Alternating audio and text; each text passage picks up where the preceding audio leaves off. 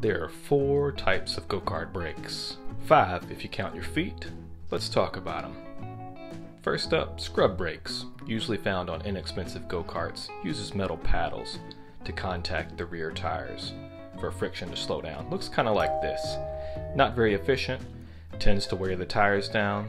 They start to look like this, and then like this. After scrub brakes, we have band brakes, very popular option also on inexpensive go-karts.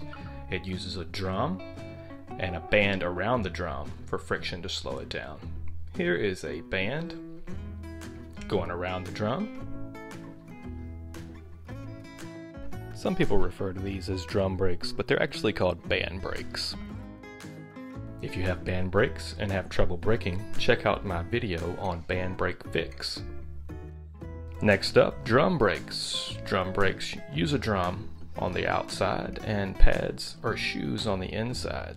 They can be mechanical or hydraulic. Here is a set of mechanical drum brakes.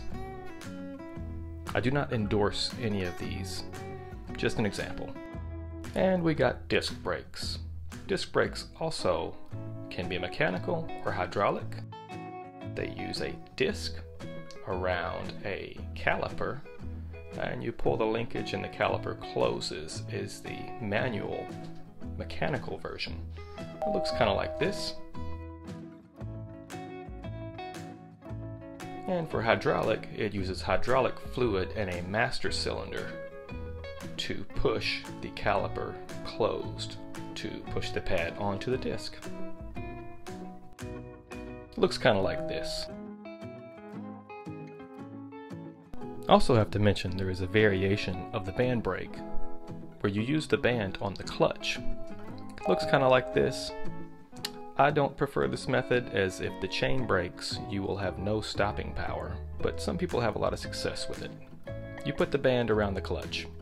Attach your linkage there. Thanks for watching. Here's an example of good band brakes. Subscribe, pretty please. It costs you nothing.